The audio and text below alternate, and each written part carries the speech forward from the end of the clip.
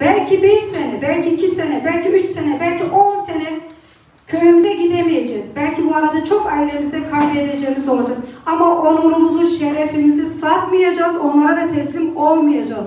Bunu lütfen herkes bilsin. Maraş bölgesi, özellikle Maraş bölgesinin üzerinde çok oyun oynanıyor. Ve bunların mağdurlarından biri de benim. Yani ben burada gör daha şu gün olmuş 2000 terörler sürecinde bu yana benim köyüm ve çevremin ve arazimin, tarlamın ve mal varlığın üzerine oynanlar, oyunlar oynanılıyor. Hep şöyle başladı bu işe. Yani daha önceki konuşmalara atıf olarak söylüyorum. Ee, bu toplumun değerlerine ben inandım. Bu topluma değerlerine olan inancım marifet sürecinde büyüyerek gelişti arkadaşlar. Elbette birçok şey yaşadık. Eksik, yanlış, yetersizlikler. Ve bunlardan ders almaya çalışacağım. Bunlardan öğrenmeye çalışacağım. Bunlar üzerinde kendini, kendimi de bu toplumsal hayata yapmayı arz- arzu ettiğim katkılarda geliştirmeyi özellikle istiyorum. Bu anlamda sizinle birlikte olmak güzellikti. Bu topluma hizmet ediyor olmak güzellikti. Bunun örneğin son halkası işte Çöçeli'de 40-50 tane anamız, bacımız, kız kardeşimiz, kadınlarımız orada bu devletle uğraşıyor.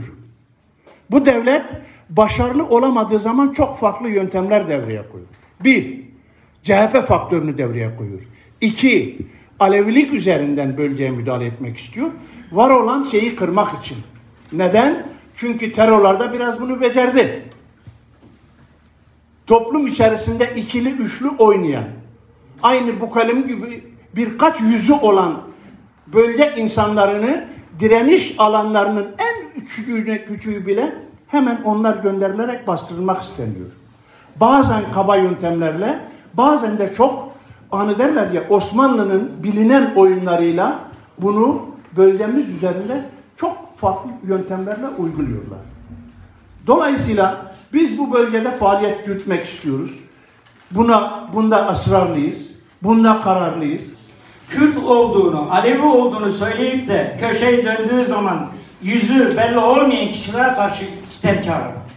Kendi cellatına aşık olan bizim Alevi toplumuna sitemkarı. Bu kadar da fazladır. Artık bizim kendimize gelmesi lazım.